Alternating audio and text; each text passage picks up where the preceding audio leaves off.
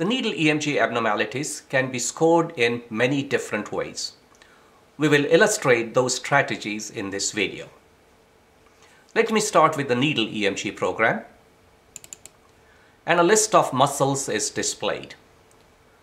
Let's say I want to study the tibialis anterior muscle. So I will start typing the name of the muscle and the muscle name matching closest to what I have typed is automatically selected. So I can choose the tibialis anterior muscle and perform my electrodiagnostic study. I can look at the insertional activity, spontaneous activity, we can look at motor unit potentials, and I can look at the recruitment at maximal effort. I can score the findings by using the summary tool, which is accessed by the blue square. If the muscle is normal, I don't have to do any changes to this.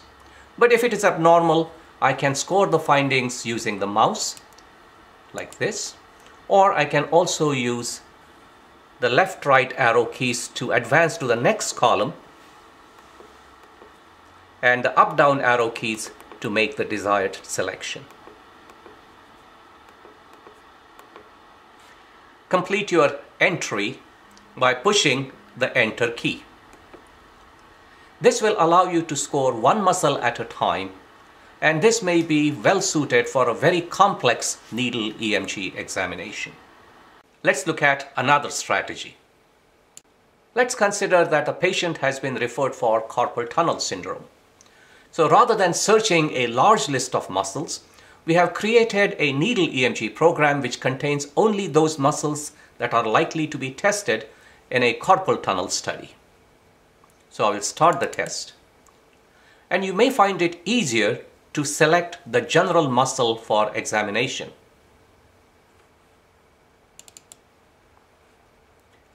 We will perform EMG examination in the first muscle, look at insertional activity, look at spontaneous activity, look at motor unit potentials, and then look at the recruitment at maximal effort.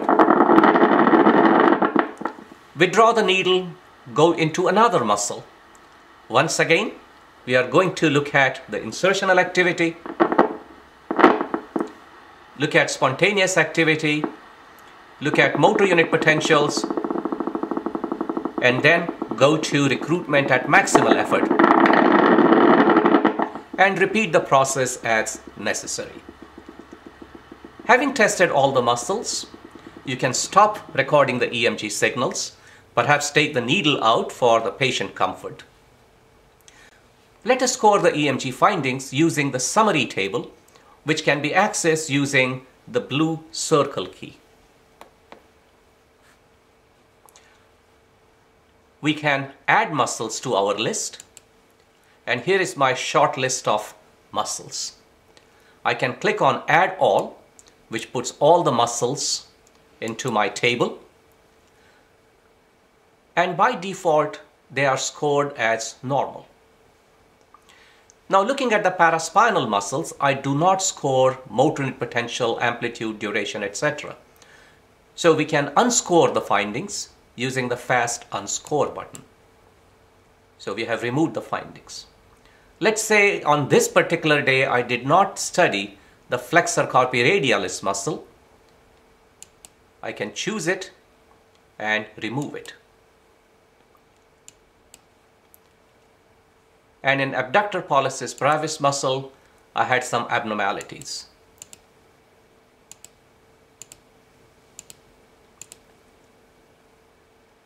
And I'm done with my EMG scoring. This is a very fast method of scoring all the muscles that you are likely to test for a specific referring condition like a carpal tunnel or radiculopathy. You can order the muscle list in a way that you like perhaps starting from proximal to distal or by root. And it makes inputting the needle EMG findings much easier. The list of muscles within the needle EMG programs can be configured by the user and this is described in a separate video. Having scored the findings, I can click on done to exit the EMG scoring table. Sometimes you may want to combine both strategies, that is, choose the muscles that are within your list, or if you studied a different muscle that you commonly don't evaluate, you can always go to new muscle and look at the master muscle list. The muscles that you have already studied are shown in red color. And let's say if I wanted to look at infraspinatus in this particular case, I can just start typing the name of the muscle. Here it is. I can select it and score this muscle individually. So to summarize, you can score one muscle at a time. You can make muscle lists and score all of them together in the summary table.